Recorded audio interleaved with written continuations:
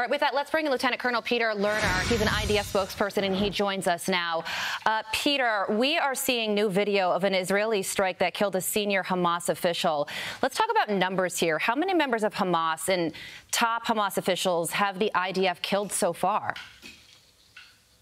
Hi, Carley. Good morning uh, or good evening to you. Here we are continuing our operation. It's now tw- day 21, and we are hunting the leaders, the, the perpetrators, the planners, and the the operators themselves. And indeed, we just took out or announced that, that we had uh, killed uh, Mubasher, who is the head of a battalion in central Gaza. And you know, this is the price they're going to pay. They decided to launch a war on Israel. We are going to seek them out and take them out. Um, the numbers keep coming in. We are tens of of terrorists, uh, of Hamas leaders um, we are going to continue to strike them and make sure they can never ever can commit such atrocities against our people again. Lieutenant Colonel, do, does the IDF have a hard number of senior members of Hamas that need to die in order for Israel to say mission accomplished, Hamas has been eradicated? Uh, so it's not just the number of leaders, Carley. We're talking about the need to dismantle and destroy the system. Hamas has, has turned or utilized the powers of government to create this terrorist army, to create a terrorist government that has subordinated all of the powers of government for atrocities and the massacre of our people. So it's dismantling the entire system that they have established. It's not a number of people that need to be taken out. Right. It's the system that needs to be taken out. They are just the, they are the operators. They are the planners. Um, they are the masterminds of the massacre from Yahya Sinwar, the, the prime minister of Hamas himself, all the way down to the last operator, they all need to go.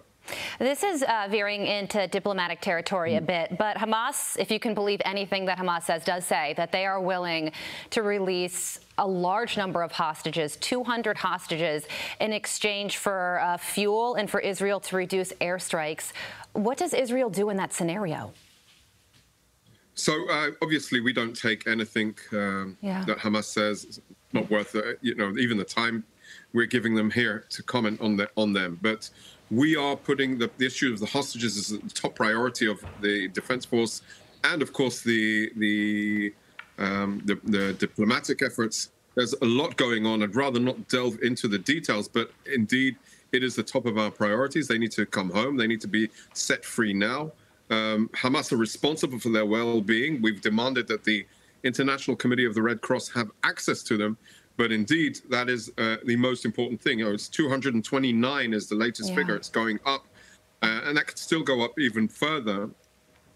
And you know, imagine the families of 229 people that for the last three weeks now have been torn to pieces. Without question. And as you were talking, I was thinking it, it is interesting. Modern warfare comes with TV appearances for you, where you get asked these really difficult questions about hostages. And it's more than just a number, these are people's lives. And questions about when the ground invasion will begin. Um, I'm sure that when you talk to some reporters and news anchors, you can also sense an agenda. What is that part of this job like for you?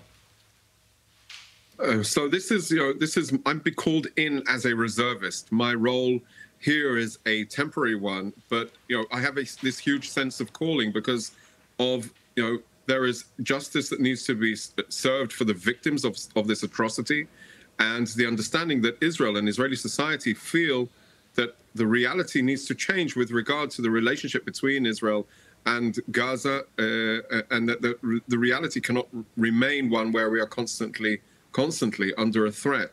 Um, so I, you know, I, uh, I take re- respectfully all journalists' questions and, and appeals, and of course, uh, some journalists come with a very clear agenda, uh, sometimes extremely hostile, or or just blatantly don't understand the concept of self-defense, or definitely not the concept of war and the ramifications of war.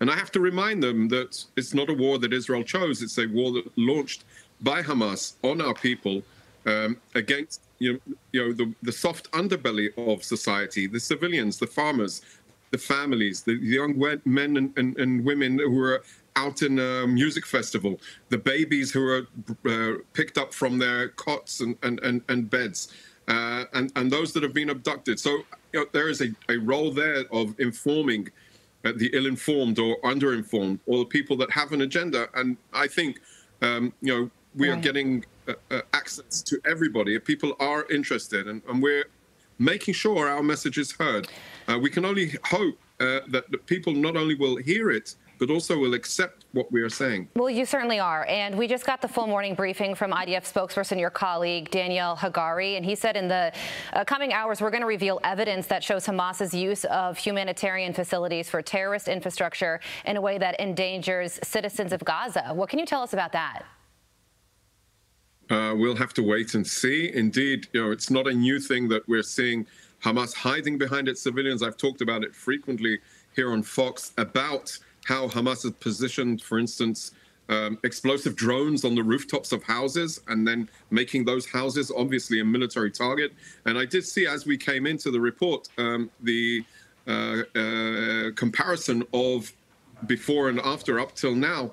But it's important to notice the strikes are being taken place against specific military targets. And indeed, it just goes to show exactly how deep, how in depth Hamas has in, embedded its uh, uh, infrastructure, its terrorist infrastructure, in, within Palestinian society, basically putting all of Gaza at risk. So we are trying to take out those assets, making sure we differentiate between the civilians, the non combatants, and Hamas and its infrastructure.